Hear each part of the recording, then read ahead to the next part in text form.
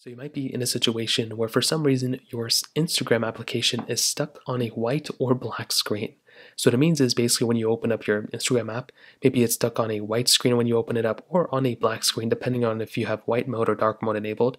And the reason why this ends up happening, there's a few different reasons for the most part, but the very first thing you just want to make sure is that Instagram and first of all, your Wi Fi and your internet connections are properly set up.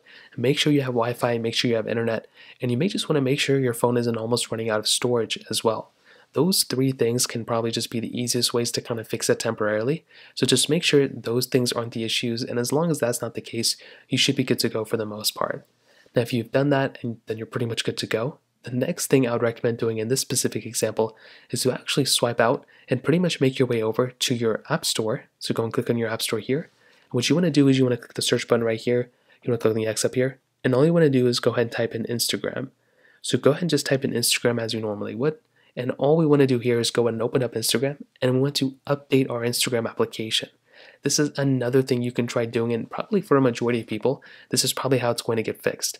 So just update your Instagram app, and that will probably end up fixing the problem too. Now, if that is still not working after you, you update Instagram, the next thing I would recommend doing, and probably one of the final things other than restarting your phone and deleting Instagram and going back into it, is to actually make sure Instagram isn't down. So you can make your way over to a website like downdetector.com. And what this website is going to do is it's basically going to go ahead and tell you all the services and all the websites that are basically down right now.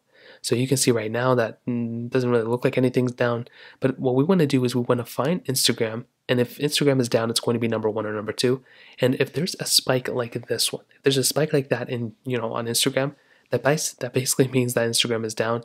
And all you're going to have to do is pretty much just wait it out until they fix that problem. So that pretty much covers it up. If you have any other thoughts or questions, please let me know in the comment section below. Hit the like button, that would mean so much, but definitely hit that subscribe button. More importantly than everything else, I love every single one of you guys. Hopefully I'll catch you guys in the next video.